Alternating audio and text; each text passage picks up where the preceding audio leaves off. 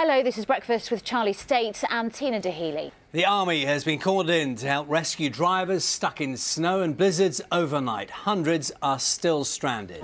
Police in Somerset and Hampshire have declared major incidents. Troops, Coast Guard and search and rescue teams have been working through the night to clear roads.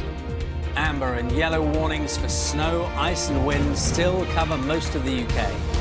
Ten people now thought to have died in weather-related incidents since the severe weather began four days ago.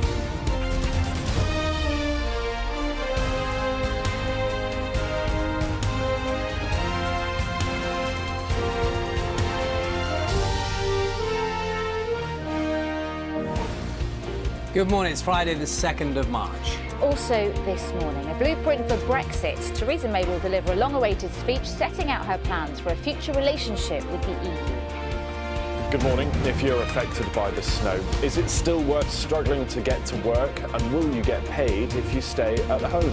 I'll explain all the rules before 7.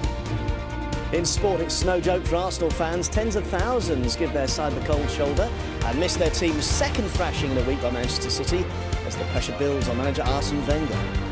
Sarah will have all the latest on the weather.